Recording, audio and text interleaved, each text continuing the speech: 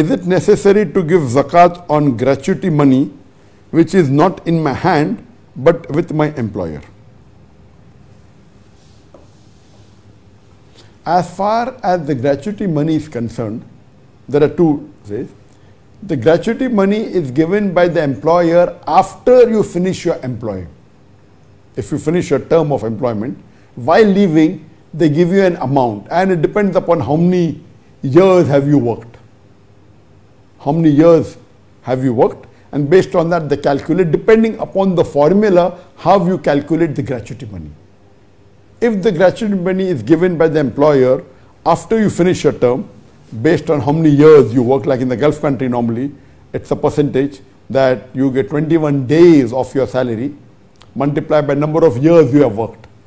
If you have worked for 5 years, so 21 days of your salary, of your present salary, multiplied by 5 is your gratuity. So if the employer gives it to you at the end of your term, after you finish your employment, then the money was with him, it was not your money, it was his money, he gives you at the end. But if the money is kept separately into your account, like the pension fund, in the pension fund your money goes and it's kept in a separate fund. See to it that it's a halal fund, it should not involve any riba. And if the money is accumulated separately in your name, then because it belongs to you, paying zakat is compulsory.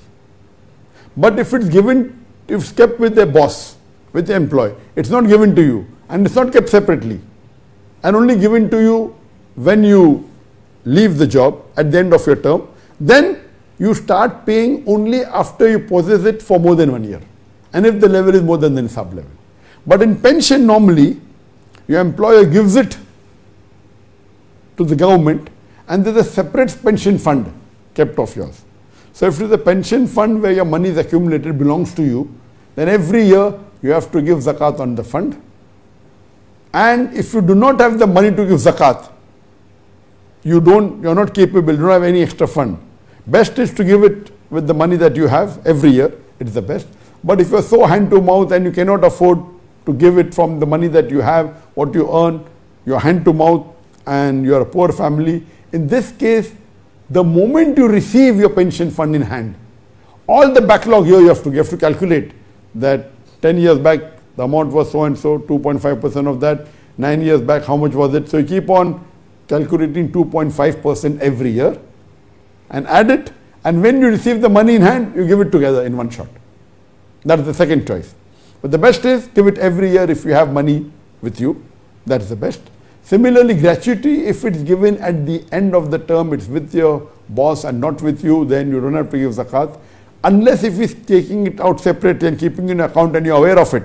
It's your account, it's your money, it belongs to you. Then in this case, you have to give every month, sorry, every lunar year, depending on the amount, you have to give 2.5%.